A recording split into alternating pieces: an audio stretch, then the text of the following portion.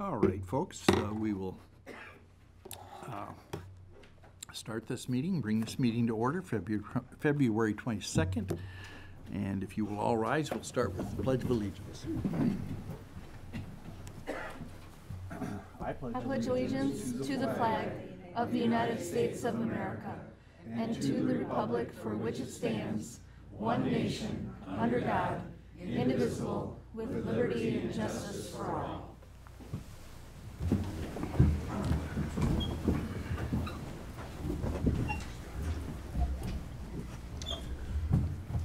All right, uh, if we could have a call to order, please.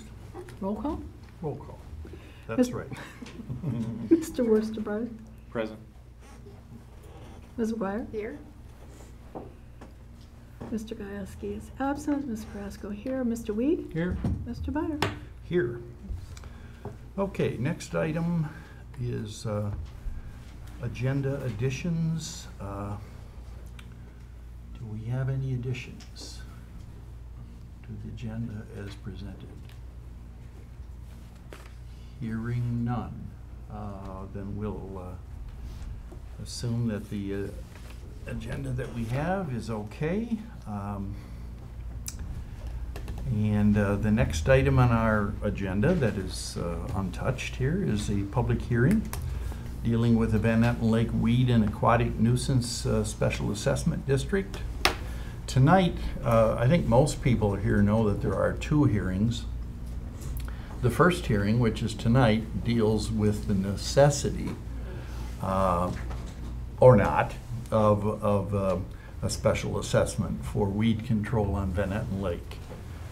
And then three weeks from now, the reason for the three weeks is we meet the second and fourth Mondays of each month. And uh, because next Monday is still February, leap year, uh, 29th, uh, it's going to be three weeks before we get to the second Monday of March. So that's the reason for kind of an extended period of time. But, and in that meeting, we will deal with the assessments and how they're figured, the formula, whatever, you know, you wish to talk about. But tonight is just uh, the necessity of a, a weed uh, control, you know, on Etten Lake. So, uh, anyway, uh, having said all that, uh, we need a motion from the board to go into this public hearing. So moved. Support. Okay, moved by Mr. Weed with support from Ms. McGuire that we do go into a public hearing. Uh, Roll call, please. Mr. Weed. Yes. Mr. Worcester, Yes. Ms. Carrasco, yes. Ms. McGuire, Yes? Mr. Byer. Yes. Okay. We are in the public hearing, and uh, I heard Mr. Stalker uh, give you a little uh, bit of information that, you know, our usual rules about filling out a card if you wish to speak. In a uh, public hearing format, we set that aside. So if you, you know, if you've taken the trouble to be here tonight, we thank you for that, we respect that, and uh, if anyone wishes to speak, uh, just raise your hand. Uh, Yes. Oh, I was just gonna do kind of a little ahead. information thing before we get going. Go ahead, if do- do That's a- okay. do a little Then I thing. go. All right, sorry, all right. So the purpose, again, as Jim just stated, Mr. Byer just stated, the purpose of the public hearing this evening is to determine whether or not it's reasonable and necessary to establish a special assessment to create the necessary funding to address reoccurring problems with weeds and other aquatic nuisances that occur in Van I thought it might be um, helpful to get to where, or set up a kind of thing on how we got to this evening in this public hearing. So basically, the Special Assessment District for Van Etten Lake was established in 2005 uh, with a five-year period and an annual collection of of $50,000. It was renewed renewed in 2010 for an additional five years at that same $50,000 annual collection. In January 2014, um, we received notification from the treasurer that the 2010-14 SAD district would conclude with the 2014 collection of taxes. In April of 2014, we received a letter from Van Lake Association requesting an extension of the SAD for an additional five years. In May of 2014, the Township Board passed a motion to to initiate another SAD for an additional five years by way of resolution instead of the petition process. And then, um, In September of 2014, the Township Board passed a motion authorizing not to collect the final installment of the SAD in 2014 and instead use the remaining funds to balance the 2015 application. In January of uh, this year, the town, I made the board aware that we would start the process, which we're in that process right now, of renewing the um, SAD that would begin by way of resolution. So this evening, um, we're looking at the 2016, uh, 2020, which is a scary number for me to say, can you believe 2020? Um, Would, um, we're looking at that SAD, and it's going to operate differently from the previous assessment districts in the sense that the township will upfront the entire cost of the weed assessment district and then be reimbursed back by way of installments on the winter tax bill. This proposed change would allow for the flexibility needed to combat the moving target of weed levels from year to year while avoiding year-to-year carrier. The resolution states not to exceed amount of seventy thousand dollars as the maximum amount that could ever be collected. So, with that being said, And um, is there also, you know, instead of the 50 that we had in the last go-around, if we don't need that much, if it's a good year, we, we can use less than 50, is it? Well, the only thing that would be, the, what would be collected is what is spent. So, um, in looking back over the years, in theory, there's some years that were, you know, in the thirty thousand dollar range, some went over fifty, some were in forty. So again, the only thing that would be, um, collected is what is spent by, um, hiring the lake manager and the herbicide application, so. So that can fluctuate. We put a knot to it, the Vela Group and the weed, um, uh, committee felt that a maximum would be seventy thousand, and that's looking since two thousand um, as I said. We've never spent that much money, but just thought if it was a really bad year, that you had a maximum amount. So again, it would only be, uh, it- only what is spent would be collected, so. Okay. So it, it could range and fluctuate. All right. My next thought is that, uh, having heard what Ann has said, um, uh, maybe you would like to just ask some questions that she might answer. And after the questions are done, if you want to come up and uh, make a brief, we have a four-minute rule here on speaking. Uh, If you wish to make a, a comment that doesn't pertain to any question or anything like that. Well, actually, there is a couple of people from the weed committee that have some prepared things from the lake manager. I don't know if we want to start with maybe that, because that gives a good overview. I mean, they're the people that work with the special Okay. you know, with the um, decisions on the herbicide applications more than, Okay. So we So I think if we started reverse- with that and then just my- as the people my- that are here- My B becomes A and A becomes B. yeah, there you go. I don't want to hog the limelight. How do you like That's all that right. answer? All right. So, I- I know, So, uh, do we have someone that wishes to address the, the group? Yes, sir. We need uh, name and again, uh, four minutes. Mm. So, Uh, Doug Jager, uh, 7077 Loud Drive. I'm also on the board uh, for Vela and also chairperson of the weed committee. Uh, On the onset, the weed, uh, the SAD was to control invasive species, specifically the Eurasian milfoil. Treatments were also effective, in short, uh, and also to provide long-term reductions in the milfoil uh, distribution. Uh, To uh, control other aquatic, uh, aquatic plants that reached nuisance levels, which did not allow people to uh, be able to come in and out from their docking area. We could not put uh, any type of herbicides in the middle of the lake. That was not part of it. It was just strictly how it affected people actually accessing the lake. Um, In 2015, the final year of the SAD, there was uh, very little milfoil in the lake, so the lake management focused heavily on, on our number two goal, which was the nuisance weeds. However, left unattended, the milfoil will quickly spread and grow into levels that were present prior to 2011. Therefore, Van Etten Lake has a very large watershed that thr- that threatens new introductions of milfoil or different invasive species. By continuing the SAD and the lake management activities, we'll be able to proactively keep the lake in great condition. Halting the lake management at this point would allow any problems to worsen before they are addressed, creating a, a need for reactive management in the future. Trying to manage this in the lake in this way is usually more effective than going after it after it takes hold, okay? Many of the lakes in, in our area, including Cedar Lake, went through that process where it was very heavily, and there's uh, heavily covered with weeds and different uh, invasive species. Basically, what it comes down to is you can compare this process in Van Etten Lake to a successful diet once you've reached your goal, it's important that you give up, uh, that important not to give up the methods that got you there. If you want to stay healthy, you have to continue the work that got you there, and that's what we need to do with the SAD. With that, I thank you. Okay, thank you. All right, yes.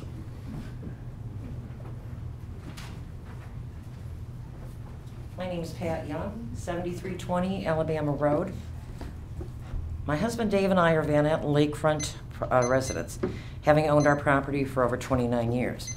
We are in support of the proposed special assessment district to be established for the control of invasive Eurasian water milfoil and other nuisance weeds. There may be a number of individuals who are opposed to the special assessment district for various reasons.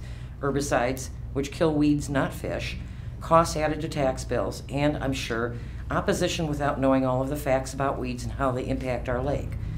An out of control growth of Eurasian water milfoil could adversely change the health of our lake, the ecological balances that are part of keeping the lake productive, and the adverse effects that would impair and greatly limit recreational use. We're not talking about the occasional weed that might tickle your feet at the end of the dock or a bunch of green that you might pull in on your fishing line. We're talking about thick mats of out of control weed growth that is spread by pieces being broken off by bo- boat propellers and even new weeds being introduced at the boat launches where milfoil may have originated elsewhere and came here to roost. Those little pieces of weed float freely and take root just about anywhere in our lake and multiply rapidly. I think of the cost that Houghton Lake had to incur when part of that lake was inundated with milfoil. We're lucky here to have had a number of years to get a grip on the milfoil through the Special Assessment District funding. I would like to see that effort continued. Milfoil cannot be eradicated, only controlled. I'm starting to hear scuttlebutt about increases in the assessment amounts. Not necessarily so. There will be a maximum amount of available funds advanced to the Special Assessment District. They may not be exceeded. In the past, we've gotten by very nicely with $50,000 or less, and the goal, if at all possible, would be to stay close to that amount. There will always be unforeseen circumstances that arise, but successful weed management should help keep costs in check. Yes, I'm one of those people who just hate seeing an assessment on my tax bill, and to some, it may not seem fair. We may be reluctant stewards of Van Etten Lake, but it's a responsibility that must be met. If not by us, then who? I want a lake that my grandson can enjoy, fishing, boating, seeing the waterfowl that return year after year, and sharing his delight of watching beaver, muskrat, mink, and many other varieties of critters that call our shores home. It's all about balance. It's all about helping to maintain a healthy lake and everyone and everything that depends on it. Thank you. Thank you. Thank you, Pat. Anyone else? For or against? Anybody else wish to get up and share their opinions? Okay. Um, Then, um, as I explained before, is there anyone, and you can stay seated, as long as this isn't a speech, I mean, is, do you have any questions that uh, any of the Van Etten Lake Association people can answer, or Ann, or Bob, or anything like, anybody have any questions? Yes, ma'am. I just have a question. How do they come up with how much each individual owner is going to have to pay for this? for this? Okay, the formula is, Bob? Well, it's, it's a formula based on um, lot frontage but the calculation is done based on a um, excerpt from the assessor's manual. And the specifics of how that formula works and the impact on individual property owners would be the subject of the next public hearing. But it's basically a, a front footage calculation. It's the same approach we've been using for many, many years here. Yeah, and it's recommended by the state, I think, to give you a little bit of specifics. uh, If the lot is, let's say, pie-shaped, or, you know, and uh, the smaller part of it is the water frontage, uh, the state recommends in the uh, workbook uh, that they have put out, and uh, we follow, that the front millage is calculated or put down twice. Let's say it's 73 feet.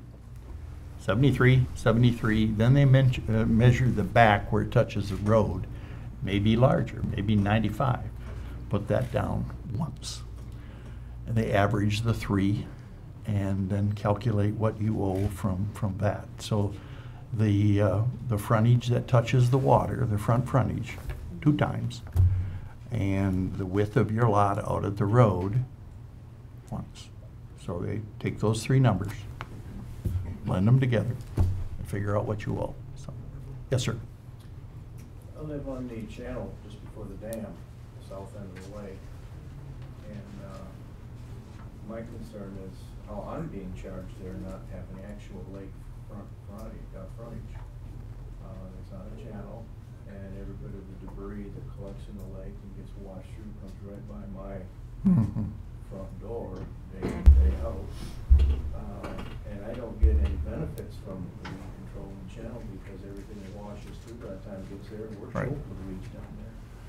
Well, we will try to get an answer for that. Uh, Like I said, your question pertains more to next week's about, you know, That's what I yeah. But, but we'll try to, you were giving us a heads up of your concern, and I know where you live. I have a, a good friend that lives not too far from you, right at the end. He's not in the channel, but he's, you know, so maybe you have an answer, yeah. Well, I don't have an answer to that. I, I was approached by somebody with the same question. Was that you? Okay. At our fishing tournament.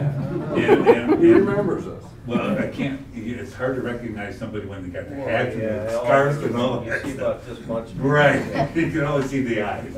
Uh, One of the things that, that we have to be concerned with, the state does not allow us to, to place herbicides any ti, any place within a certain footage of where the water is going out. So we have to be conscious of that aspect, you know, where the river, the Pine River feeds in, and where the Van Etten Lake, uh, uh, Van Etten Creek Yeah. dumps out. Yeah. Because what happens is those herbicides can go flowing right on through. Right. Uh, The only other alternative is possibly looking at possibly harvesting, which is an option. And, and so, uh, and, and we talked about this, and, and what I was going to do is, is kind of, uh, work with our, our lake manager, uh, which is Lake Pro, and have them come down and take a look and see what is, what is possible, what we can do in that aspect. Okay. Because, yes, they are paying an assessment, and they should at least be able to get some results or some answers to, to that problem. Right. And we don't see any. Right, That's- that's right. the concern. Okay. You're talking on the north side of the dam, Uh, uh, Upstream. south- upstream of the dam? Upstream of the dam. Okay. Yeah. From the old spillway to the dam. Yeah. Almost, almost done, my back door almost opens up on the dam, Okay. put it that way. Gentleman in back. Yes, my name is Dan Banks. I'm a 60-year resident on the lake. And I have to say that uh, since the weed control and the use of the herbicides, uh, the residents are not the only ones that benefit. For example, I was launching my boat last year, and I asked the person in front of me, I said, well, where are you from? So, well, we're from Flint. I said, what brings you here? The KOA camp in Van Etten Lake. We love to use it. We love to bring our kids. We love the recreation. That lake is good for the whole community. Mhm. We're aware of that. I'm sure you are. Yes, yes. Doesn't hurt to reassure that. No, that's, that's for sure. There is a, you know. Even though we pay for it, Yeah. everybody can enjoy it, and I'll pay gladly. you know, and the, and the township has a, a sizable park on Van Etten Lake, but we do pay taxes on that, We do. like you do. Um, uh, and Van Etten Lake is, as many of you know, prob- hopefully all you know, that it is totally encompassed uh, by Oscoda Township. Unlike Cedar Lake, which is roughly one-third in Oscoda Township, two-thirds in Alcona County, you know, it is split, so it's kind of a, kind of a jewel for us, yes. Yes. Thank you for voicing that, so. Anyone else? Question. Again, next week, we can get a little more specific about uh, assessments and formulas and, and so forth, so. Three weeks. Three weeks, yes. Next meeting, I meant to say, three weeks, yes, sorry. Um, Okay, then, uh, any board member comment regarding any of this? Can Okay, the, I have one. yes. Can that residents, because I know that some of the weeds get, you know, floating on the top or float to the shore for a time period while they're treating, if they take them out of the lake, is that safe for them to do that? It is, okay. And they just throw them in the garbage, that type of thing, or? In, a matter of can- fact, you know, we live in a small cove area. And my wife Carol, she's, she's been doing most of it, but we go in and we, you know, we always catch a lot of weeds She's in not, that area. she's not looking very happy about it. But, but the fact is, what we do is we actually use it mulch. mulching. Oh, We, we pile it up and then we use it uh, around our plants. Mhm. Because once it decomposes, it's really good mulch. Yeah, it's very good mulch. If you can handle the smell all of a sudden. you can Right, go- well, we try to set it away from the house. And away from the dogs. That's- Yes. That's what I get, is it floats down the channel and Sure. sometimes the spillway gets plugged and it just sits there, and sits there, Hmm. sits there. Uh, all right. All right, we'll work on that. Um, Last call, anybody? All right, I need a motion to go out of uh, the uh, s- Public hearing? public So hearing. moved. Support. Okay, I think that was reverse of going Mhm. in, wasn't it? Uh, Ms. McGuire, uh, with uh, support from Mr. Weed. Roll call when ready.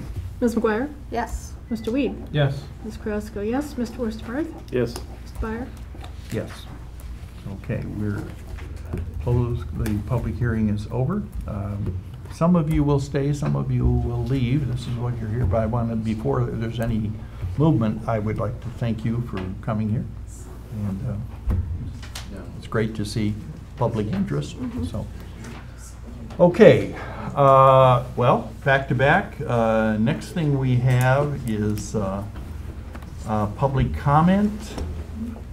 This is where we have the cards, and again, four minutes. We have a second public comment at the end of the meeting, but um, any public comment other than anything having to do with the Van Etten Le- Lake uh, weed control business?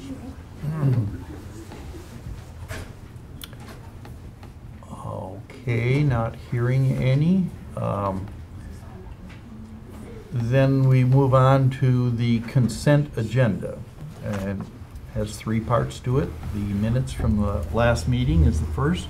Anybody see anything in the minutes for the February 8th meeting? Anyone? Okay.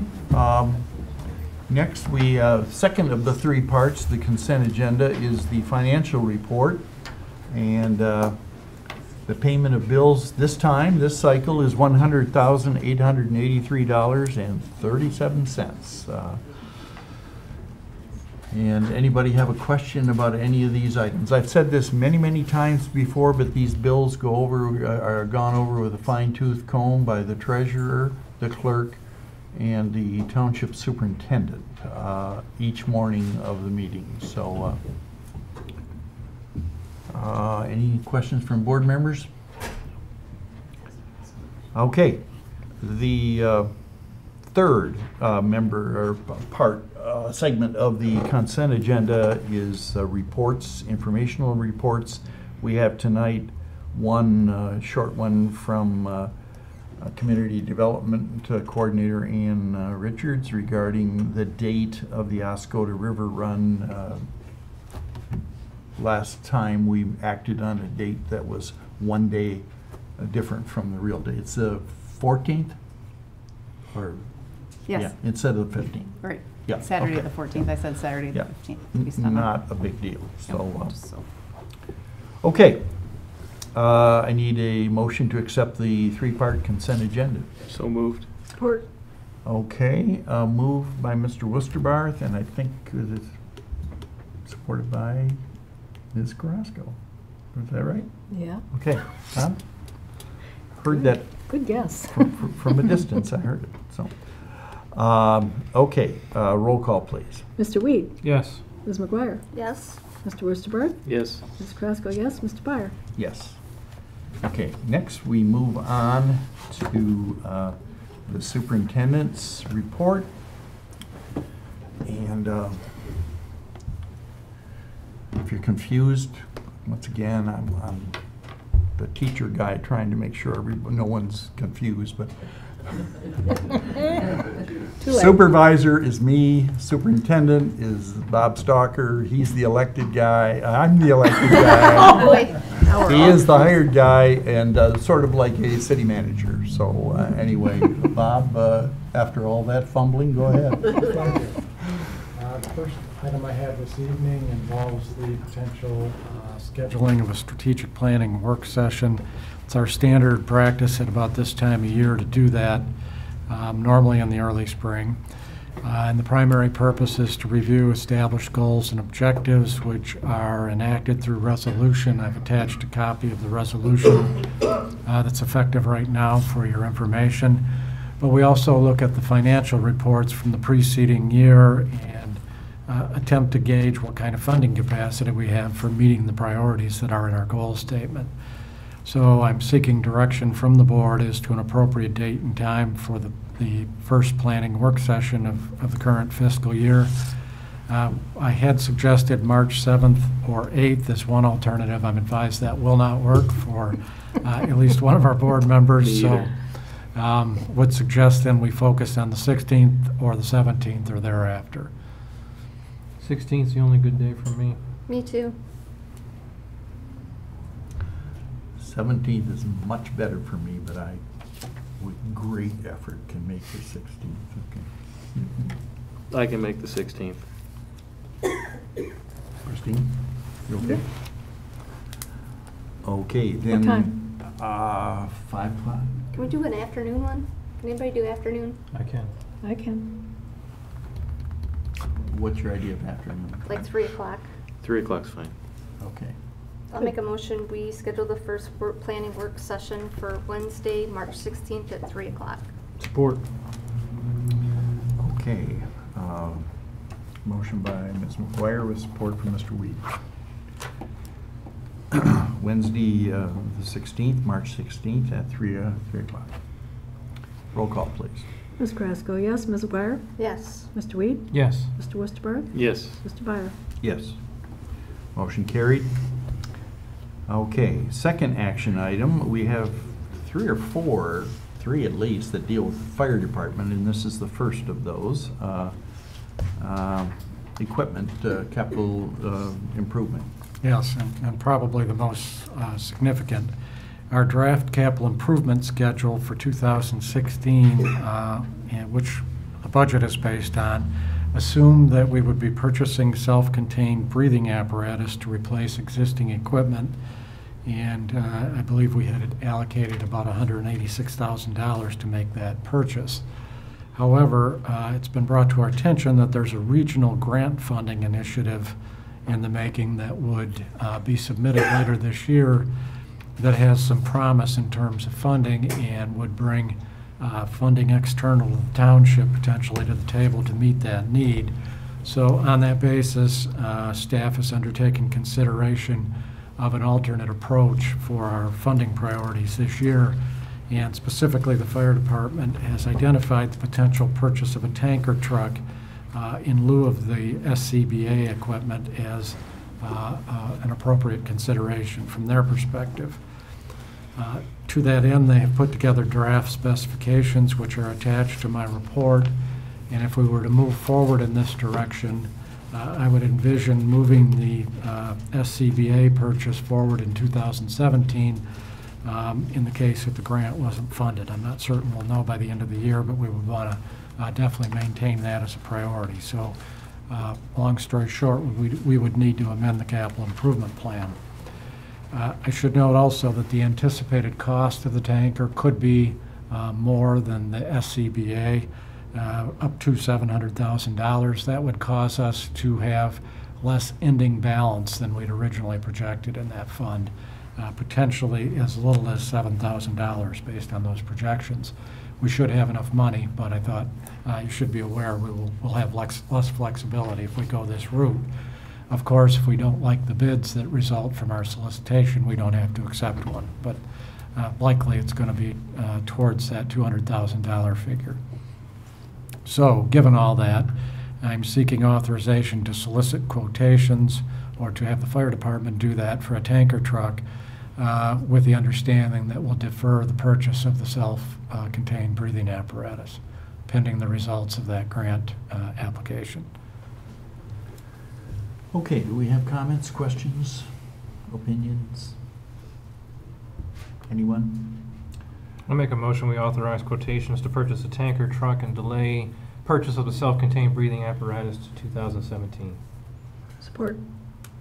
Okay, um, but before we vote, when I ask for opinions or anything like that, uh, I'm not, I have an opinion or a question or two, so I can't ask questions after we vote, so I'm gonna ask them now. Uh, Do you, uh, in, in the past, we have uh, purchased really quality used equipment, I believe from a source in Maryland.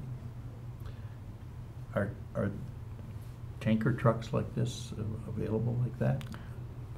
They, they might be. They- Is they- is it worth pursuing, or? Well, um, I, I guess that's a value judgment. I mean, with, with, frankly, with the millage, we have more capacity to buy newer vehicles. Mhm. Um, And I- the underlying assumption has been, I believe, that we would do that. Certainly, we Yeah. could look at that, um, if that's the board's wish. And I guess that's another one of my questions. I, I don't know if the board thinks that's worth doing. Um, They've been operating with a tanker truck for years now that was almost homemade, is that right? And, and they've talked about uh, how- the need to get rid of that, you know. I guess if you travel over, I'm gonna throw a number out, twenty-five miles an hour, it starts jumping around on you. And, uh, you know, and tanker trucks are usually needed in remote fire situations rather than in the city where there are hydrants. So, so that tanker truck is never more important than in some distant uh, occasion or, uh, of a fire.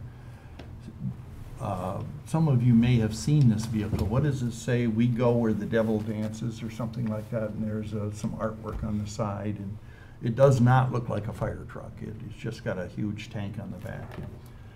Um, uh, So my point is definitely that we need one. I mean, these guys are taking their lives into their own hands when they press the speed limit on this to try to get someplace. So I'm not contesting that at all.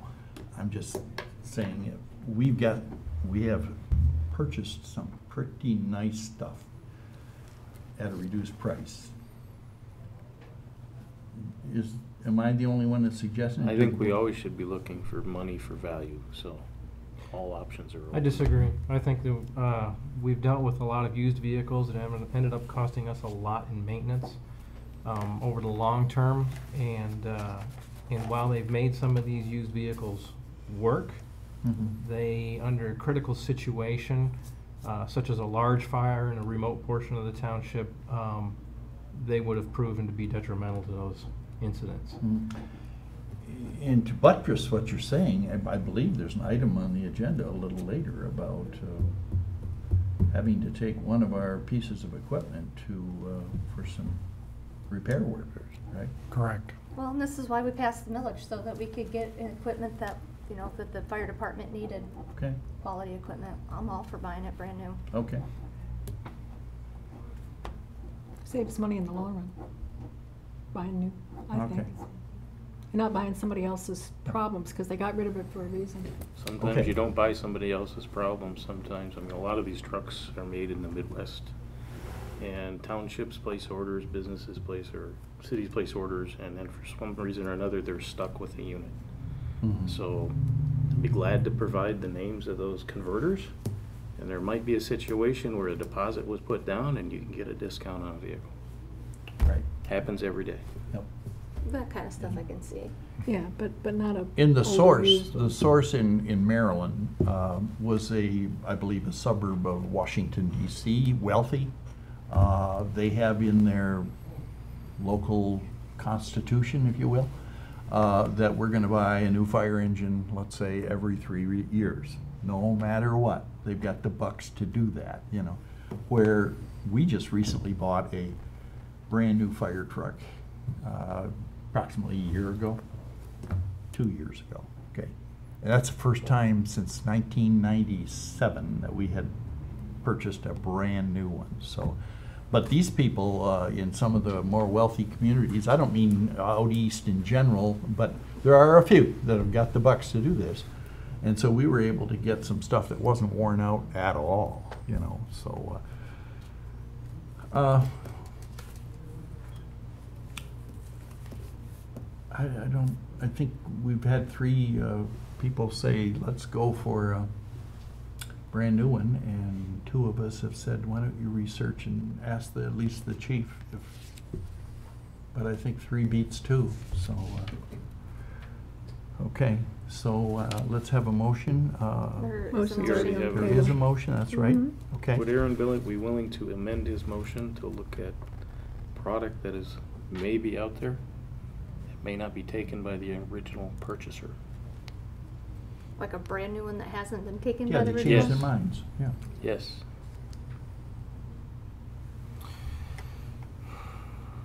So, to be more specific then in the motion, a vehicle that has, uh, You're still looking at a new vehicle, but you're looking at converters have already spec'd it, built it. and fewer than just it's not five hundred being miles moved. on it. Okay. Five hundred miles max, he's saying, Correct. okay. Sounds reasonable. All right, motion is so amended, uh, who, who was the seconder on that, you? Me, Chris? You? Is that okay with you? that's fine. Okay. All right, roll call, please. Ms. McGuire? Yes. Mr. Wusterbarth? Yes. Mr. Weed? Yes. Ms. Carrasco, yes. Mr. Fire? Yes. Amended motion has passed. Okay, um, next fire engine, uh, fire department item is the uh, dive team communications equipment. Um, Yes, we have uh, communication from the fire chief regarding purchase of a three driver, three diver communication system. This would be a new piece of equipment to replace older uh, two diver system that's been in service for many years. There are concerns uh, with that equipment relative to reliability. The te- uh, technology's gotten better. Um, And uh, it integrates with the dive masks that we are now using. So there, you may note there is only one quotation here. It's an integrated product. Um, we had budgeted seventy-five hundred dollars to make the purchase out of our equipment replacement fund. This quote modestly exceeds that amount, seventy-five eighty-one oh six. So on that basis, authorization is being sought to proceed. Any discussion? Okay, I would make the motion that we go ahead uh, to authorize the purchase of this Dive Rescue International, uh, that's the name of the company, provider, and the cost is seven thousand five hundred and eighty-one dollars and six cents, so roughly eighty-one dollars over uh, the budgeted sum, so, Support. okay. Any further comments? Roll call then. Mr. Weed? Yes. Ms. McGuire? Yes. Mr. Wusterbarth? Yes. Ms. Carrasco, yes. Mr. Fire? Yes. Motion passed. We go to fire department item number three. Yes. Also in the capital improvement fund for the fire department this year, we've budgeted twenty-five thousand dollars to replace uh, a wildfire uh, truck, brush truck. Um, We would be moving from the Blazer-type vehicle we talked about at the last me- uh, meeting to a pickup chassis. And uh, our budget assumes purchasing a used, uh, but uh, very ser- serviceable pickup truck. Um, We have begun looking uh, from staff standpoint at the availability of those vehicles, and they are out there, but their availability doesn't necessarily correspond with board meeting cycles, particularly if we're looking at internet auctions and that kind of thing. So the first part of this item would be seeking uh, approval from the board to move forward and purchase a vehicle uh, that meets our, our needs at a cost not to exceed fifteen thousand dollars. The second component would be potential purchase of a skid unit pump assembly that would go in the bed of the pickup truck. Um, And the fire chief has provided some information regarding the particular product that they're uh, wishing to purchase. Uh, We have one in service now, they're familiar with it, they've trained on it, they've had good experience, and they're suggesting that we buy the same unit. Uh, That would be at a cost of seven thousand seven hundred fifty dollars for, for the Forest Pack uh, skid unit. So, again, it's a, it's a two-part uh, recommendation. First, fifteen thousand dollars to buy the truck when we find one that will meet our needs, and then secondarily, to move ahead with the purchase of the, the pump assembly. Okay, do we have, uh, let's take them uh, one at a time here. The, here we're going for a used pickup truck. This is the recommendation of the fire department? They are, they're aware of it, yes. Okay. These vehicles see pretty harsh duties. Yeah, duty, I was gonna so. say they Yep. beat them up pretty bad in the woods. Um, Okay. Comments or questions? Then I'm looking for a motion to go ahead with a used pickup truck uh, not to exceed fifteen thousand dollars. So moved. Support. Okay, moved by Mr. Wusterbarth with support from Mr. Weed. That we do go ahead with the, uh, seeking the purchase of a used pickup truck. Roll call, please. Ms. McGuire? Yes. Mr. Worcester? Yes. Ms. Carrasco, yes. Mr. Weed? Yes. Mr. Byer? Yes. Motion passed. Second part of this is to purchase a Forest Pack uh, skid unit pump assembly that goes in the back of the used pickup truck. Uh, The cost here is seven thousand seven hundred and fifty, uh, approximately half the cost of the vehicle. Um, Comments or questions? Discussion? I had a question about that because the quote came from a company from Canada. I have nothing against Canada, they're good neighbors. But I guess Bob answered my question that they have a similar unit. It seems something they're familiar with, so. In any all cases, I would like to purchase that kind of equipment in the States. I'm sure there's a company that makes similar equipment, but my only comment. Well, even such as if par- purchasing a vehicle, if you purchase a Ford or a Chevy, most of it's made in other countries and just put together here in the States, so I think we're kind of in the same boat either way. Well, I'm in that business, so I agree to disagree with you there. That was my only comment. Okay. Well, thank you for that. Anything else? Um, Then uh, I need a motion, or do we have a motion to No. purchase this? Mm. Okay, I need a motion. I'll make that motion, uh, since there's only five of us tonight, uh, that we go ahead with the uh, uh, pump assembly at the cost of seven thousand seven hundred and fifty dollars. Do I have support? Support. Okay. Byer, Carrasco. Anything further? Roll call, please. Mr. Worcester? Yes. Ms. McGuire? Yes. Ms. Carrasco, yes. Mr. Weed? Yes. Mr. Byer? Yes. Motion carried. Uh, Next uh, action item is a uh, purchase of a police car slash patrol vehicle No. and what? Up one. Senior citizen funding? Is Not that? of mine. No, not Nope. mine. Oh, I'm sorry. I went too far. My apologies. Accepted. Patrol vehicle grant.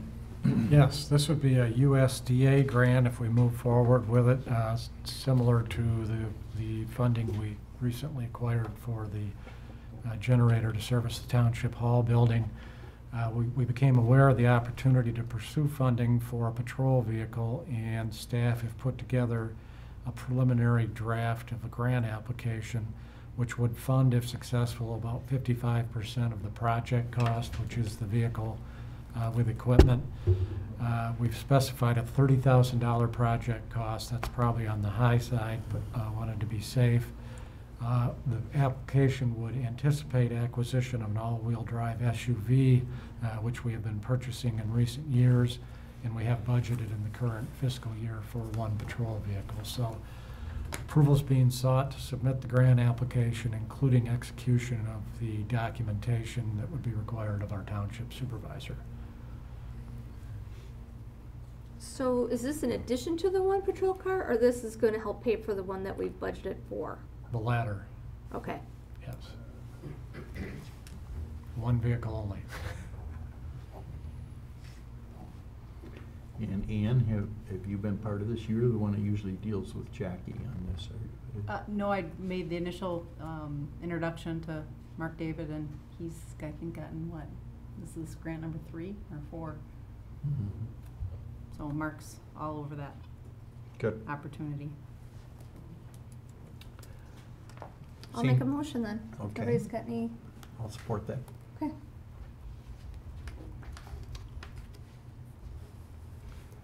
It's kind of weird that we're get, we're we're applying for a grant from the United States Department of Agriculture, USDA. But, uh, they have a, quite a, a grant program for smaller communities. And so, uh, we're part of that, so. Roll call, please. Ms. McGuire? Yes. Mr. Wusterbarth? Yes. Mr. Weed? Yes. Ms. Carrasco, yes. Mr. Byer? Yes. Motion carried. Grant approved. No, I went too far on that, yes. Okay, informational items, um, senior citizen center funding needs. Yes, uh, we had previously taken up consideration of a request from the Oscoda AuSable Senior Building Authority uh, to approve placement of a renewal millage before the voters. uh, That's going to obviously be expiring. And the board uh, endorsed the idea, but there were a few questions asked. One about the Headlee rollback, which has previously been addressed. A second question was raised about the necessity for a full renewal, uh, and basically what are the funding needs that are driving uh, that assumption. In response to that question, the building authority commissioned uh, an engineering consultant to do a, an inspection and survey of the building. They've sent along that evaluation, uh, I think under the premise that it will be helpful in answering questions the board might have. So uh, basically, at this point, I guess, uh, Is that adequate, and if not, what type of additional information might be considered appropriate? Anybody have any, anything that they would like, information they would like before this goes any further? Nope. Okay. What would you like from us other than request for more information? If, if there, there is none, we can assume the question's been answered and move on Okay. from there. All right. Uh, Next, um, under information is a um, update and request for some information from the board or feedback from the board on the police department study that we've commissioned with Petrino Consulting. Uh, There was a question asked at the last board meeting about the payment schedule. And I circled back with the consultant, and the plan of action at this point would be to have a a midpoint fifty percent billing and a final billing. Um, And those payment requests would come before the board, and they weren't spelled out uh, specifically in the contract, so I thought you should be aware of that. Uh, But probably more importantly is the informational request that the consultant provided to us uh, recently. There are a number of questions they're asking and a significant amount of material. Uh, Much of that's been compiled already. Uh, But the specific uh, inquiry I wanted to bring your attention to this evening is the first one, in which they're basically asking who should they be talking to uh, directly to get feedback for the analysis. I discussed the question with the chief of police and the lead consultant, which is Mr. Vitrano, and it was suggested that in considering the question, an important distinction might be drawn between folks who are likely to have insight directly on the operations of the police department versus folks who might have a more generalized opinion about the police department. Both types of input might be of value, but, but it would seem that the former would be more important to the, to the study. The consultant has a budget to work within, and uh, therefore, it would seem uh, efficient, more efficient and, and appropriate to prioritize the personal on-site interviews then with the folks who are uh, presumably more likely to have that operational knowledge. Telephone interviews could be held with other parties that we thought were important for them to talk to. Their target number of people for the day they're going to spend up here talking to folks is 10. They did indicate that they might have some flexibility, or they would have some flexibility there. So based on all that, I've put together a tentative list of contact persons and entities on, on that prioritized basis. And in terms of the local interviews, one of the key questions is uh, which, if any, members of the township board would participate in the process. So that, that would be one question, and I've outlined the other parties here that um, we, we thought that they, they may want to speak with. Secondarily, we've got potential uh, telephone interviews, uh, and those folks generally would fall more into the category of opinions from the outside, uh, I guess with the, with the, uh, maybe the exception of Sting, because they've directly worked with, with our department from a law enforcement standpoint. So uh, I'm seeking input from the board uh, as to your desire uh, to participate in this process, and also whether the approach that I just outlined is considered appropriate. Um, Because to get back to the consultant, we're going to have to provide some, some specific feedback on the contact parties we wish them to speak with, and we're tentatively focused on March 11th as a date to do this. Um, That's not final. They gave us a couple other dates that aren't going to work, and certainly we can move that uh, out, but they, they would like to get started. Bob, I can, I can appreciate your choices on your list that you have, but is there any thought given to, like, let's say my purse got stolen out of my car and I had to go in and talk to the police department? Is there a way that we can have some of the local people or residents come, you know, be surveyed or talked to, you know, because it's supposed to be about the efficiency of the police department itself? Wouldn't that give a little bit more insight to their actual interacting, interacting with the police department? Um, it- I, I can understand what the value might be, but trying to, trying to find those folks and structure it might be a challenge. Maybe one way to do that would be to set aside a period of time during that day and advertise it and give people the opportunity to meet with them, you know, at their initiative. Do Is we there any have- way to type, do some type of a survey thing that would be useful for the company consulting? I mean, maybe not, Is there information they could receive from reports I guess. uh, from those people and then contact those people to see how their pick a few interaction randomly? and effectiveness was with the police department? The- Kind Yeah. of like that? uh, kind of a random, certainly, we- they, are going to have access to those types of reports, so certainly, yeah, that approach, I would think, is, as long as we don't get into any privacy issues, we'd have to explore that a little bit.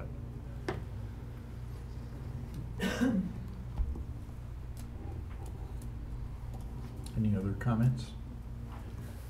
I, I like the fact that we've got some people that are not too close, everybody here has some contact with the police, of course, that's why they're on this list, but, uh, having the central dispatch nine-one-one organization, uh, county prosecutor's office, Sting, I think those are valuable to be on this list.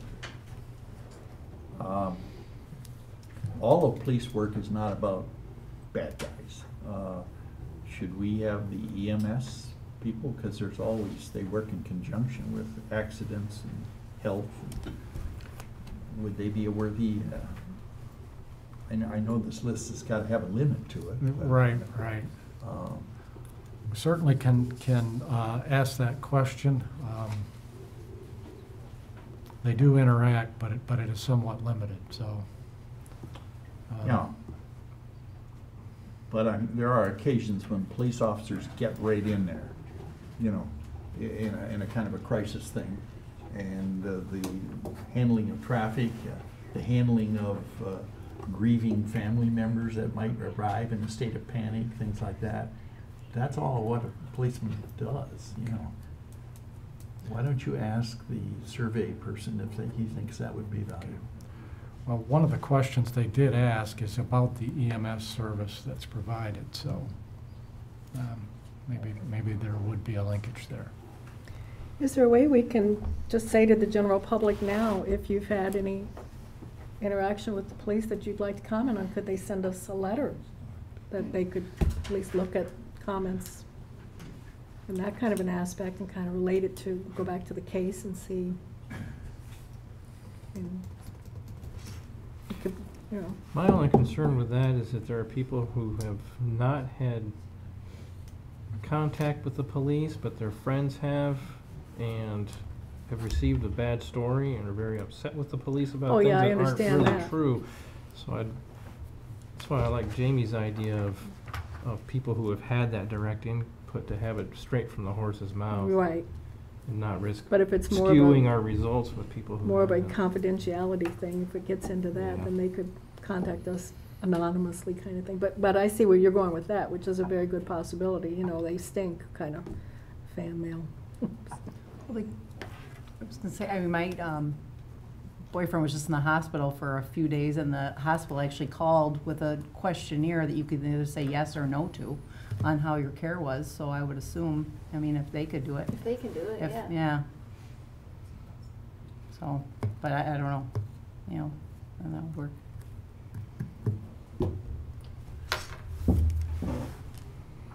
I, I, I only see the overriding deal that the people that are unhappy are the ones that speak. People, if you're satisfied, they're silent. So uh, you might get a skewed. Well, the list is kind of skewed too. Mm-hmm. Okay. I guess I would look at the records, both good and bad. If you have any complaints, you're gonna have to randomly talk to. So I would think he's gonna do that investigation, and I don't know if we have any or not, but I would take both. Reports people had a positive experience, and if we have complaints, they need to be looked at.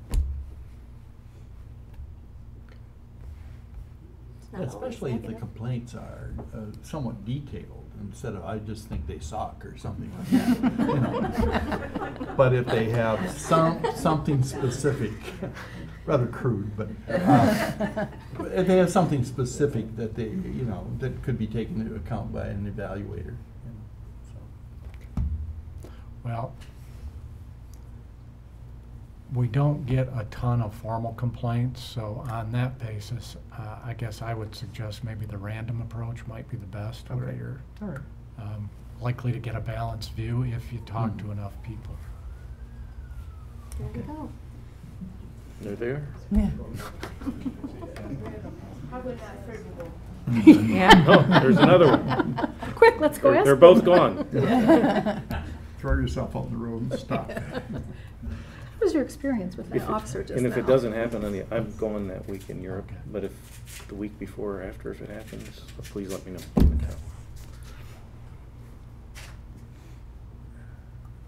Okay.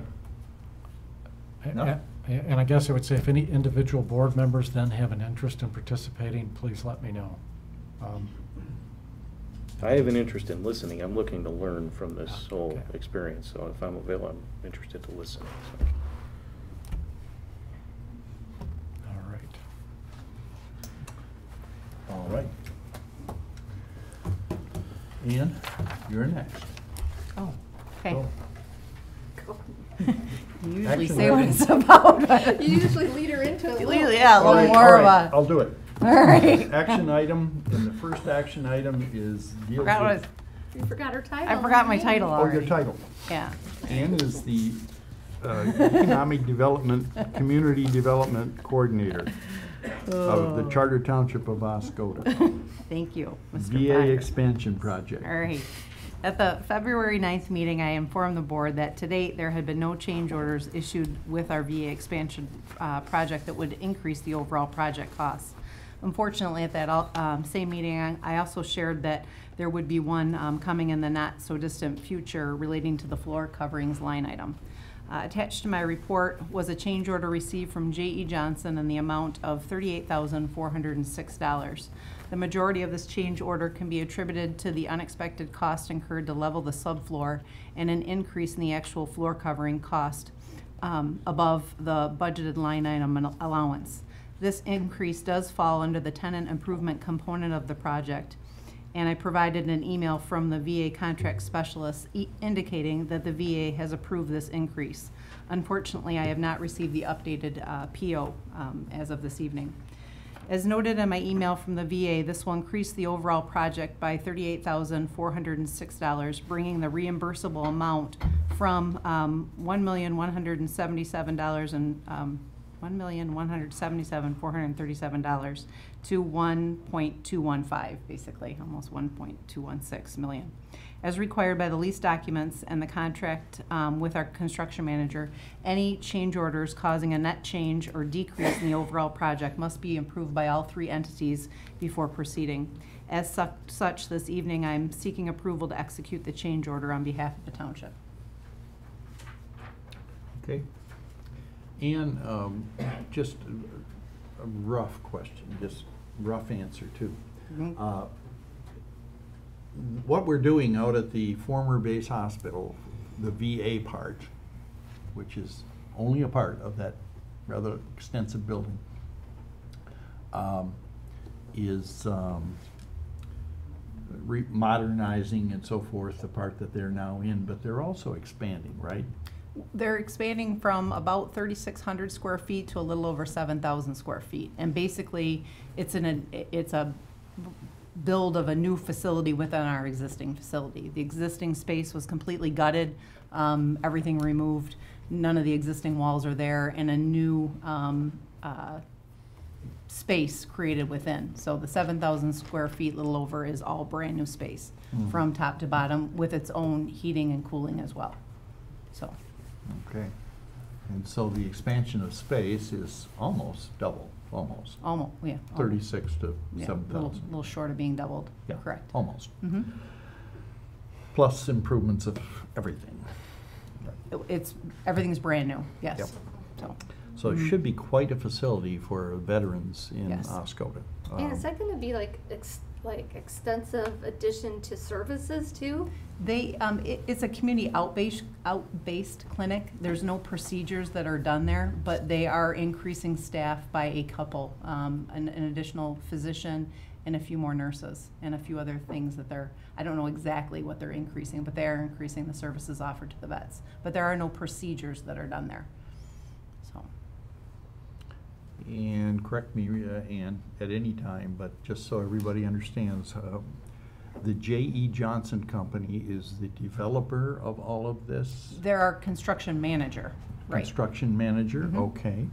Uh, They're not necessarily the construction company. you know, Correct. They The- hire various plumbers, electricians, whatever. It was, it was, go- it went out to bid, and um, every component went out to bid. Mhm. So, we have a couple local contractors that are actually doing work out there. I believe three. And the township is paying for this to be reimbursed at the end by the Veterans Administration. By the majority of it, right? Not all of it, but there's some Right. um, out of pocket by the township that But will it- not be reimbursed. A really sizable majority. Would you agree with that? Uh, Yes. Yeah. Mhm. So this thirty-eight thousand four hundred and six dollar, uh, um, what's the word, a change order, Mhm. uh, that we are going to pay and vote on it here tonight, uh, will be reimbursed down the line, Correct, a hundred percent of it. hundred percent of this from the VA. Yes. Okay. Trust your VA. Okay. They're not getting the best headlines in the world lately, but uh, anyway. Okay. Um, You need a motion to Yes, execute I the do. change order? Yes. So moved. Yes. Thank you. And I'll support that. So that's uh, Ms. McGuire, Mr. Byer. Anything further?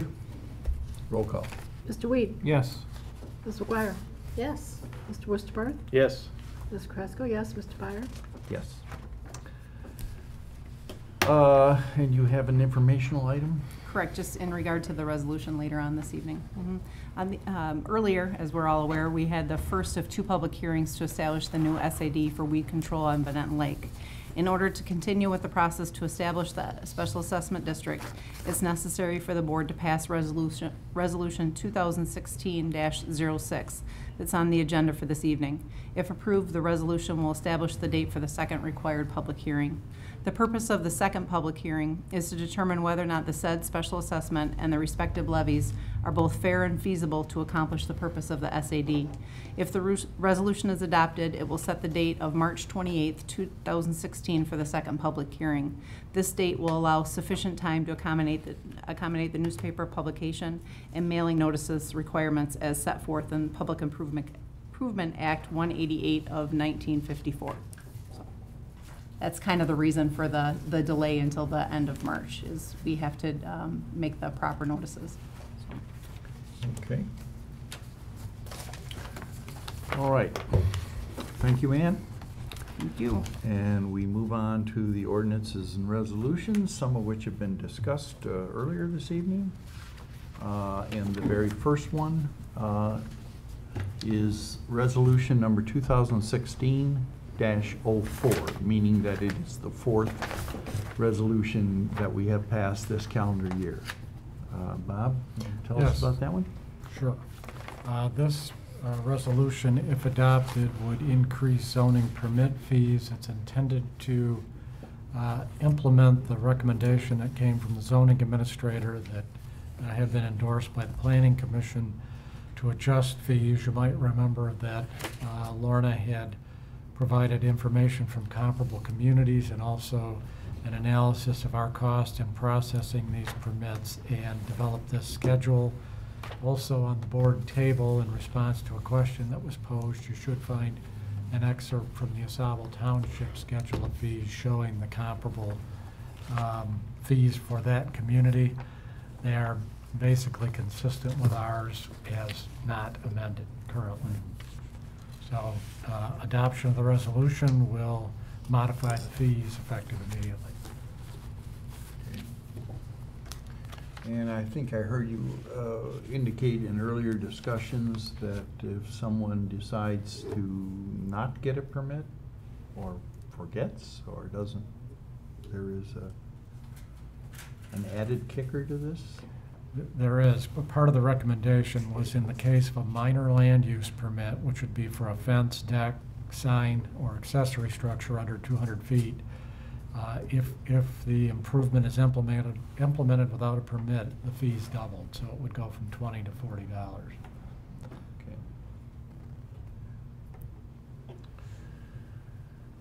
And lack of information about the permit structure is not accepted as an excuse. That would be my assumption, yes. Okay. All right. We should maybe, might be a good idea that in the spring, as the weather gets better, that we should use our electronic sign to, you know, to say, don't forget permits on Sure. everything.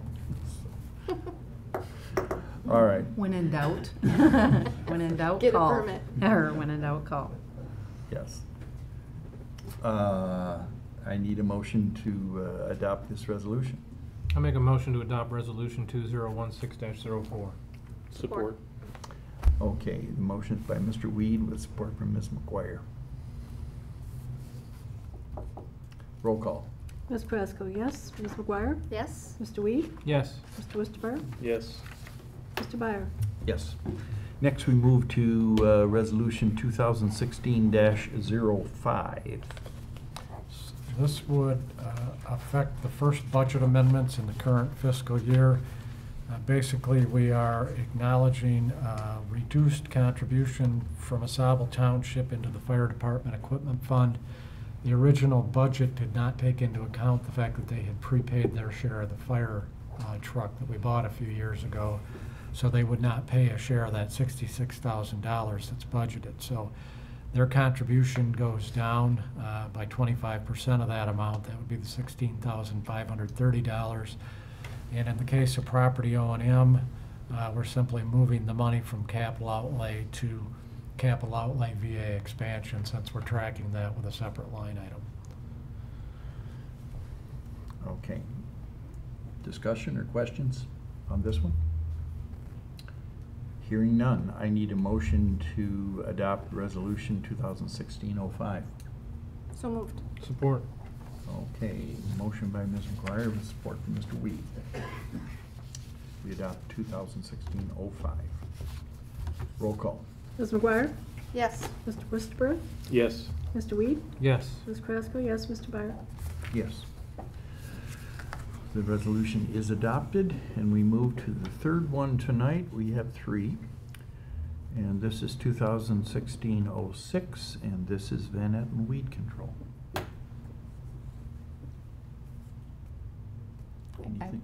Uh, Nothing more to add besides what I did earlier. Okay, Mhm. all right. Just the, the second of the two public hearings, again, um, to discuss the, uh,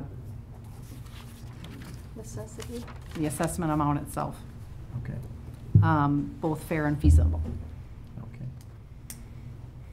okay. All right. um, So this is just a, just a resolution to To- hold the second public hearing? Correct, yep, yes. Not to adopt the weed control. Not to go adopt, the right, it's the, second the second public hearing. Mhm. Okay. On March twenty-eighth, All right. at seven PM at the beginning of the meeting, just like this one was. Mhm. Mhm. Okay, I would make the motion that we do go ahead with this resolution. Support. Okay. And the support came from Mr. Weed. All right. Anything further? Roll call, please. Mr. Weed? Yes. Ms. McGuire? Yes. Mr. Wusterbarth? Yes. Ms. Carrasco? Yes, Mr. Byer? Yes. You voted yes for weed control? I even have my own committee too. Hi, Joe. Only on Van Etten Lake though. Yeah, I know. Okay, other, uh, parking lot lease document. Well, you want me to start? Go right ahead. Um, Pursuant to uh, discussion at our last meeting and action, you'll find on the board table a uh, parking lot lease agreement, uh, which has been executed by the property owners as of earlier today. There've been a few different versions of the lease. Um, It is for 90 days, in keeping with previous discussion. The term begins February 9th. Uh, The um, rental amount is uh, somewhat, uh, I would char- characterize it as modestly more than we originally talked about, which is uh, part of the reason it's back before the board. And as compared to the original lease, there are some changes that I would bring your attention to in paragraph three, uh, where we talk about ingress and egress to the building um, uh, west of the the uh, door to the parking lot. Uh, Other than those changes, I believe it's largely consistent with the original document. And basically, the change from the last meeting is there was a question of whether who would be responsible for the parking lot maintenance. So I met with Peggy and John Gilbert the following day, and they said they would like to retain the maintenance. So the fees did go up about two hundred dollars uh, for the three months, and they maintained the parking lot, snow removal, salting, except for the area that is township owned. We are required to salt that. So they signed that agreement uh, two weeks ago, basically, but crossed out a little bit of the language, and just to clean the document up, I haven't had a chance to meet with them until today. Actually, my wife did that on my behalf as I was downstate. So they have executed the agreement pursuant to the discussion that Peggy had with Jim in my absence uh, about 11, 12 days ago. Right. So Can I ask you why it's only for 90 days? this is our cooling off period, so we can jointly come together to see if we can settle differences between all parties and move forward. So this is a good faith effort, The snowbank has been removed. By us. I- Only a portion of it. The only portion that was supposed to be removed is for in- ingress and egress to that particular area. There's no other issue. And yes, we did it because I offered to do that as the township. So what, really what I want is, we're gonna come together jointly, and we're either gonna be able to settle our differences, or we're not. And again, I'm gonna add two things. It is private property that they own, and we have a tenant that we're responsible for. I agree. comments. However, we also have parking that's out there that they can utilize, and we've made accommodations. It's private property. Their private property, I understand Yeah. that. But I don't think it's right that we've been using township tax dollars to pay these people so that the public can use the parking lot. Okay, my comment is, how long has that lease been in effect? A long Except for the time. last few months, correct? It has been, and that's fine. That mm-hmm. doesn't mean that I've liked it the whole time. So township and to tax be- dollars have been paying that all along. It has, I Okay. understand that. But then when you have other dynamics that have happened, you know, in the recent months, I just, I, I think it's uncalled for. Everybody has an opinion, and I have my opinion on both sides, to be honest with you. Well, I mm-hmm. agree. So I would make a motion that, if, is there any other discussion? I'm just gonna say one, one quick thing, is that I, at first I thought, wow, this should start, the three-month period should start when we ratify it. But, but then I thought, we're the ones that demanded a contract. We could have, Mhm. we could have just said yes to this back when it was first mentioned here, but we said, no, we want a contract. So, so the delay has kind of been on us a little bit. So I, I feel that my initial feelings about, they ought to start the three months on February the twenty-second instead of February 9th. It's, uh, I'm wrong, I think, so. And I That's my ju- oh. Okay, and I just want to clarify one thing, why I voted no the last time, because I didn't. And I think, you know, a lot of people like to know why you do vote no, so I'm just gonna say this is part of the reason why I did vote no. Also, I think that any of the businesses in the downtown or anywhere in Oscoda that have a private parking lot, I think it's ridiculous, and shame on you, because it's very unwelcoming to people that are coming into your town. You go into any town, I've never seen a private parking lot that says, if you're gonna park here, we're gonna tow you away. I'll be honest, okay, I'm sorry. But, a- again, it's not conducive to building our community as a whole. I would say this, Jamie, and I understand why you didn't vote no, because we didn't have everything put together. We had agreements that I had talked to the Gilberts about, and it wasn't in writing yet. So we brought it to contract form that the township wants. In the reference to private property, I don't understand why the township owns a building that doesn't come with parking. And that's the comment I'm gonna make, because I don't understand why this building was even purchased to begin with, knowing that the parking lot didn't come with it. My comment. That's fine. I'd like to say that I appreciate the work you put into negotiating this contract. I think the terms of this contract are appropriate, a lot better than what was done previously. However, uh, I don't think that we need to lease the parking lot. We don't need to expend the funds into it.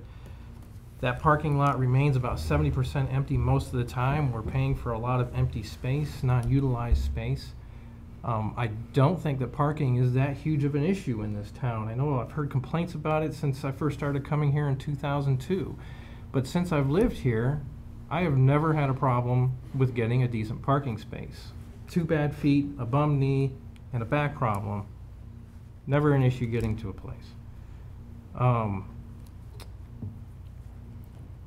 if parking is really that much of an issue, we do have other options we can do. We could, to the extent of flattening this building and turning it into a parking, public parking lot, if, uh, but I don't think that's necessary. We can also put double doors on that side of the building, put a handicap spot out there. Um, we can increase the money we would save by not leasing that parking lot. We could use to increase the parking on the south end of the property of the township hall, which is not that much of a distance to walk from there on into the tenant that we have. Um, So many different options we can go of that we don't need to expend money on to something that really isn't utilized that as, as much as I think that the perception is. I agree. I agree, because I believe the business that's in this building has worked it out where this parking lot is not a necessity for them, and certainly not a necessity for Well, that's for not us. the, that's the call I had from Jim Alexander this morning. He called me up in arms because there was a lot of rumors that this contract wasn't agreed to and terms were changed, and there's a lot of rumors out there. But as I calmed down Jim and assured we had at least a handshake deal and that the Gilberts have done everything that we had talked about, he is up in arms that he doesn't have access to the parking lot for his business. So to say that it doesn't matter to him, I think is completely wrong, Christine. Well, that's not what he was telling me just the other day. He was fine without. I talked to him parking at ten AM this morning. Well, He called me. and shame on the Gilberts for what they did to him because he's the business in here. That's no way to I- treat a neighboring business. Shame on them. At this point in time, there's issues on all parties, and I don't wanna put the Alexanders in the middle of it. The Well, the Gilberts already township, the did that. township is the, is the landlord, and the township take, should take full responsibility for working out an amicable solution for its tenant. And I think before you got into the picture, that was still trying to be done too.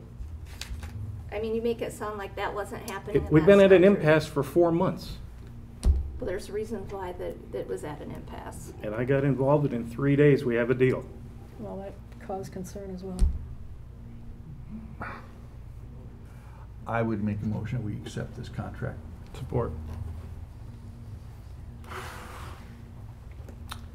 Roll call, please. Who was the support? Uh, the support was Mr. Weed. Okay, Ms. McGuire? No? Mr. Wusterbarth? Yes. Ms. Carrasco, no. Mr. Weed?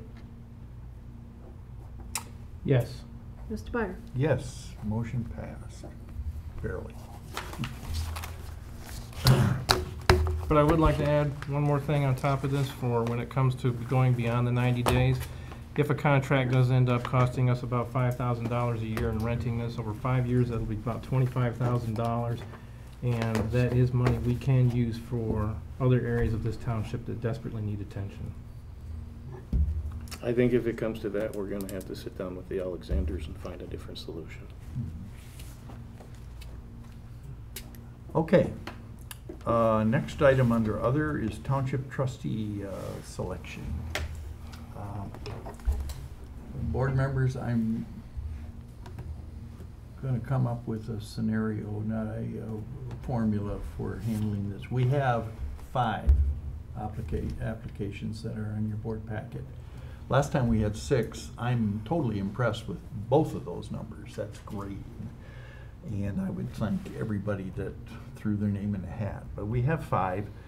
I, I would prefer that we don't elect somebody with, you know, if the votes are split all over the place and we, we elect somebody with two votes or something like that. So here's what I'm thinking, and it's with your permission or refinement. We have five. Uh, I think three or four of them are in attendance tonight. Um, I would start out with any, if any of them would care to, uh, within reason on time, uh, introduce themselves, indicate some points that they think are important. Um, Any board members wish to speak about any of the candidates? And then, uh, I have made up little ballots with all five names in alphabetical order. And they are Mr. Timothy Cummings, Roseanne Curley, June Lothamar, Brenda McNeil, and William Palmer, and uh, pass them out and, and ask you to circle two of them. This is not your first choice or your second choice. These are two people that you think they would count equally, and we'll take a, we'll take a count. I will read them publicly, the, uh, you know, the, the- the ballots. Uh, Christine has agreed to record them. And then if there is a clear winner, uh, we'd have to take a motion to uh, formally uh, accept that person as the new board member for, until November 20th. I think everybody knows that. Is that a feasible way to handle this, or, now, there may be a tie, and if there is, we would take the two names and just go down the row here and start with Christine, say, who do you want? And then me, and then right on down, we, we can't have a tie with five board members, I don't think, does that sound like something's okay, or you got a better method? Not hearing any. Uh, Any, uh, well, that was, that was rammed down their throats, eh? Uh, no. Uh, Just a starter kind of idea, but if, if any of the candidates that are here that would wish to uh, step up and introduce yourself, uh, a couple of comments about what you think is important. Anybody? Oh, I'll go. Go ahead. Okay. Um, good evening. Uh, my name is June Lothamer. I'm new to the Oscoda area as far as moving into this area.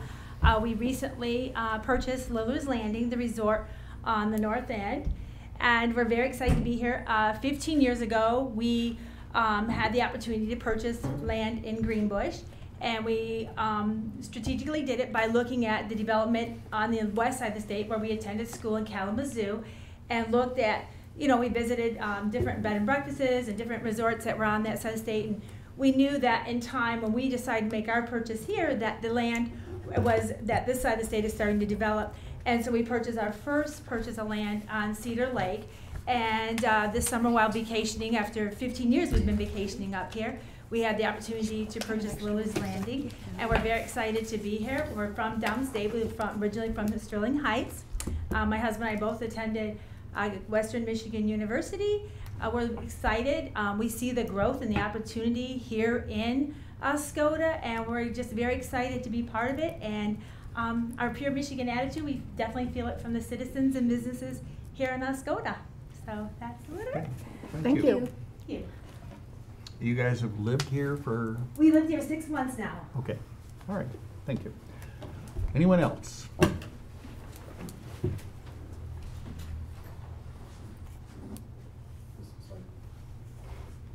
This is kind of like deja vu all over again. Uh, My name is William Palmer. Uh, Like I said last time, uh, I've owned property here for about 25 years. I just recently moved here uh, in September 14. I owned a business that I sold on there, and uh, I'm a uh, University of Michigan grad and uh, lifetime alumni member. Uh, Currently on the Planning Commission, and I did say in my uh, letter that I would, I would like to stay on that uh, board if, if possible. Um, And I'm very excited about trying to get some growth here in Oscoda. Uh, I don't have any personal agendas uh, in terms of, of the township or the area. I would just like to see some growth, uh, things put into effect that we could maybe see some, and with your business, that's, that's a good start, so, um, thank you. Okay, thank you.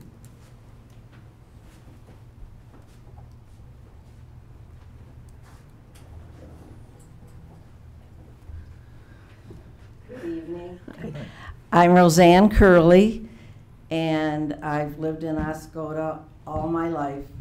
I retired from teaching after 32 years in second grade in the same classroom I went to second grade. um, I love this town. I, I've traveled quite a bit, but when I see that lake when I'm coming home and I see the AuSable River and I see the sun shining on the lake, I just, I can't wait to get home. Uh, this is the best place as far as I'm concerned in the whole world, or the world that I've seen anyway.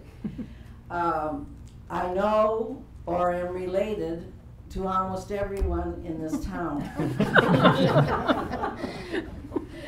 I've met a lot of In them. fact, uh, one of the, the camera guys back there said they should call this Curlyville. But anyway, I have a lot of relatives here, so, um, so for me, Oscoda is my heart. And uh, I ran for the House of Representatives in 2014 because I wanted this district to really grow. We, we need this on this side of our state. And I'm extremely involved with the inter, uh, environment. And uh, I'm very concerned about the AuSable River. My dad was Mr. AuSable Canoe Race. My son now is, uh, Justin Griffith is the chairman of the AuSable Canoe Race. So I, sometimes I'm kind of selfish about it, but I feel like this is my town. I want the very best for my town, and I'm proud of this town and, and proud to be a Curley and have lived here all my life. Um, any questions? Anyone have any questions? Okay, thank you very much. Thank you. Anyone else?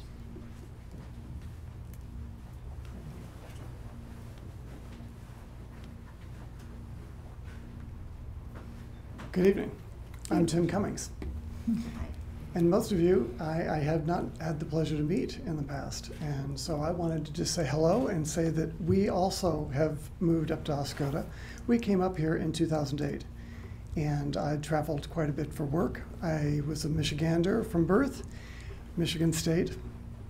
Much do I. Thank. Yes, thank you. I am forgiven. I'm an engineer by education uh, and a chef by, uh, by hobby.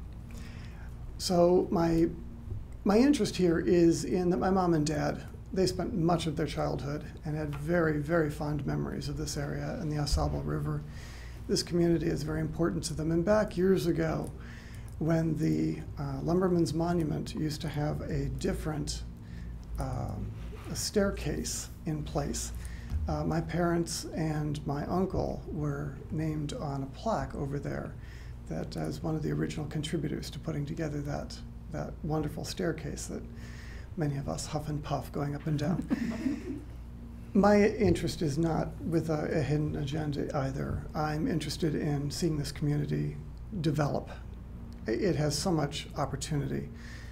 I sometimes feel like it's just an unpolished diamond, you know? And I love the fact that we are still known for a beautiful beach. I think this is a phenomenal thing. And I also feel very warm about coming up the 23 and seeing that I'm getting closer to home. My two kids are in school here in, in Oscoda Schools, and uh, I'm very happy that they're both doing very well here and we enjoy the school system. So I think that there's just so much more to support, and I wanted to be a part of that. Thank you. Thank you. Thank you.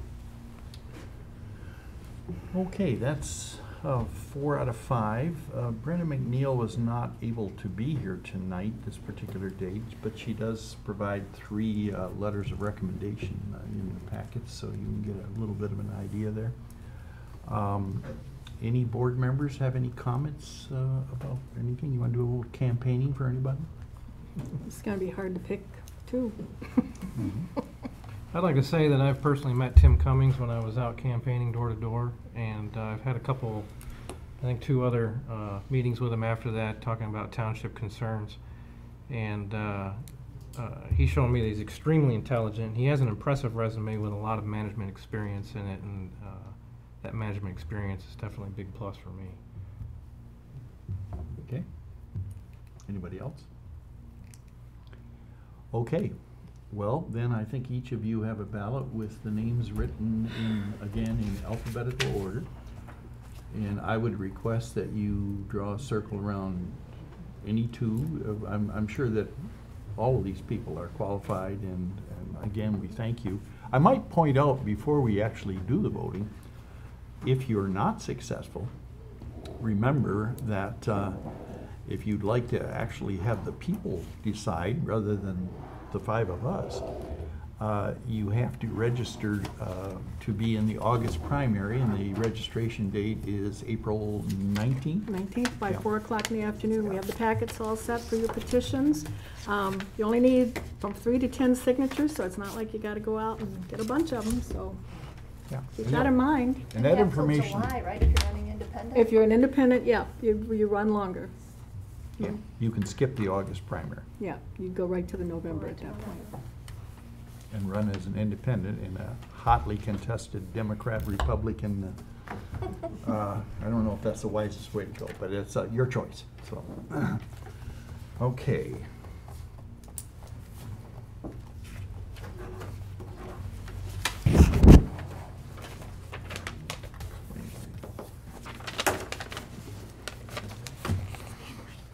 All right. Madam Clerk, remember, these voi- votes are equal, uh, we're not, you don't get two points for being the first name I read or anything like that. Good. Roseanne Curley and William Palmer. Roseanne Curley and Brenda McNeil. Timothy Cummings and Brenda McNeil. Timothy Cummings, William Palmer. Timothy Cummings, Roseanne Curley.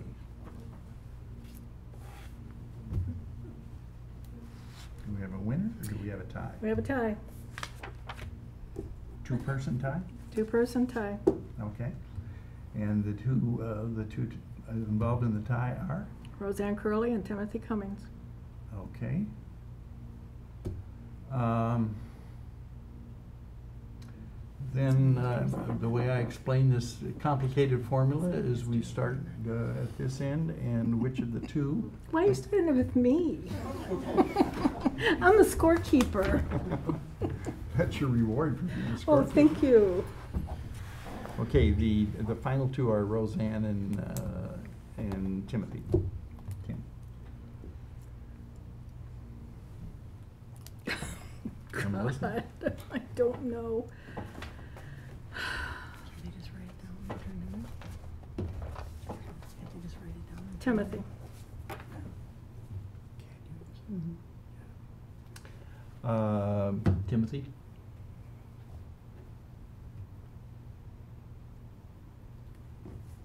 Um,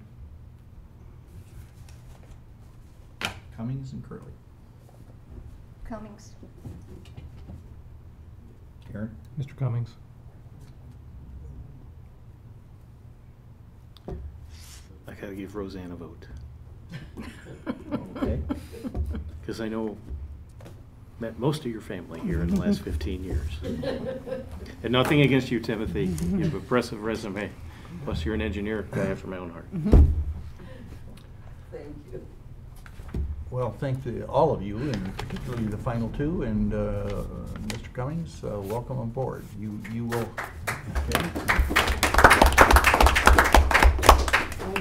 Now, uh, we're gonna have a work session uh, sometime in Oh, between. boy. And you're welcome to that. You also have to go to this lady's uh, office to get sworn in as soon as possible. She'll be there until midnight tonight. Yeah, but, but don't show up then, I'll be busy. Okay. All right. Final item is the fire department engine repair that I spoke of earlier. Yes, back to the fire department. Yes. Um, This is a quotation to repair engine number five, uh, which I believe is a vehicle we had uh, purchased some time ago. Uh, The pump seals need to be replaced. They need to be repaired in the vendor's shop down in Freeland. Frontline is the company that we use on a routine basis to service fire trucks. Uh, Because the cost is in excess of administrative purchasing authority in a price range of thirty-two forty-five to thirty-nine twenty-five, I'm bringing it before the board for, for potential approval. I had asked the fire chief to contact other vendors just to do a price check, and it appears as though they are in line, and the discussion we had was um, that it's probably important to get this unit back in service, and if we're gonna look at competitive bidding, maybe at some point in the future, we should look at the whole program. um, Because we, we do, uh, um, rely on FLSI quite a bit, and, and their contract cost is substantial over time for the township. So with all that, um, looking for approval to move forward with this quotation and uh, get fire engine number five uh, and its pump repaired in the near future. Okay. And you need a motion that we go ahead with this repair? Yes, in in an amount not to exceed, uh, let's say $4,000 to be safe. Okay, I'm looking for a motion. So moved. Support. Okay, moved by Mr. Weed with support from Ms. McGuire. Roll call, please. Ms. McGuire? Yes. Mr. Wusterbarth? Yes. Mr. Weed? Yes. Ms. Carrasco, yes. Mr. Byer? Yes. Um, Public comment, second public comment. Is there anyone that has anything they wish to say? Anybody? Yes. Right up here. I just have a, one question. Did we get the, the parking lot settled? We have, we voted yes closely, three to two, uh, to accept the contract for Okay. three months. Yes. Okay, thank you. Yep. Thank you, Steve. You're welcome. I take it you're Mr. Alexander. Yeah, last time I looked. Okay. I haven't formally met you yet. I've only talked to you on the phone a few times. So, Go ahead. Hello again, everybody. Um, I briefly informed you about our newest acquisition. I believe it was last board meeting.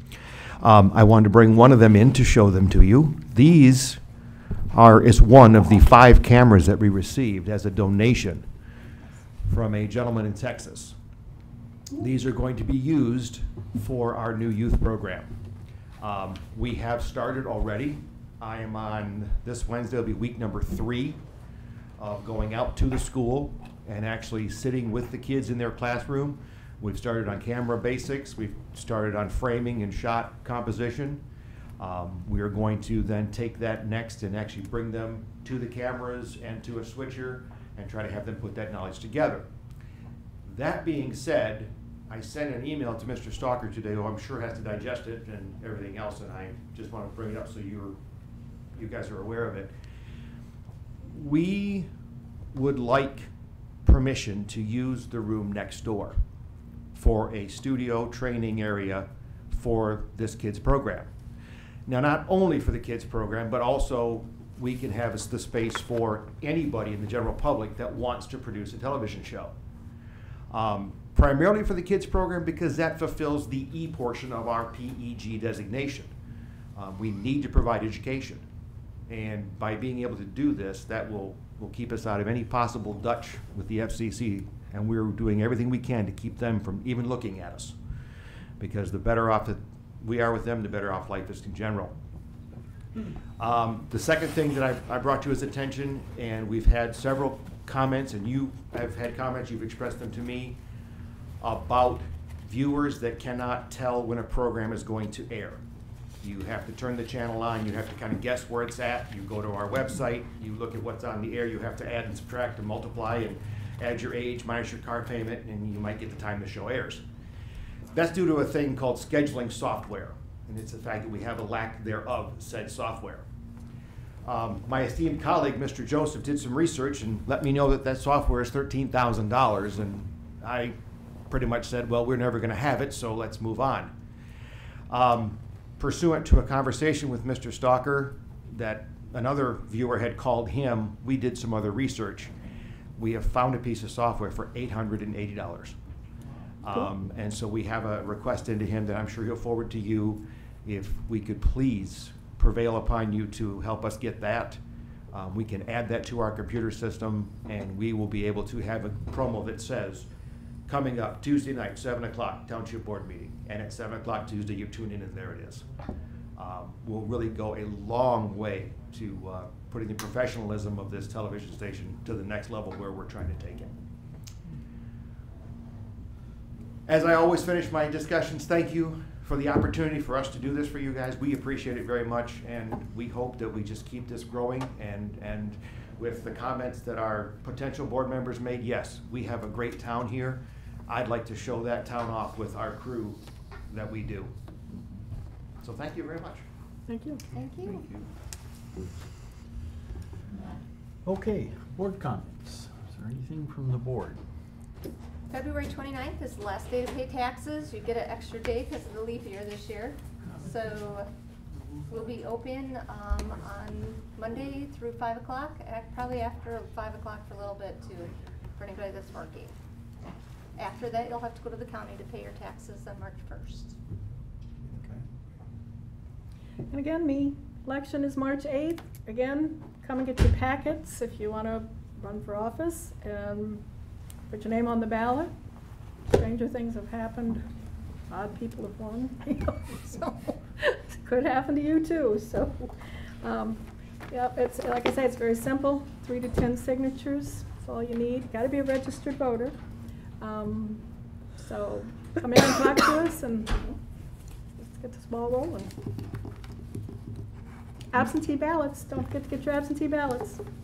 And that, you know, that, I repeat what I've said before, I'm really thankful that the five of you came here, but it's a tough decision. you It know. is. Only one of you could be It's an successful. honor to be able to, to be able to apply. Thank you. It's an honor. Thank you. It's a great city, we're so Yeah. proud to be here. Thank you. So, anything else? I need a motion to adjourn. So moved. Okay. We are adjourned. Thank you, folks.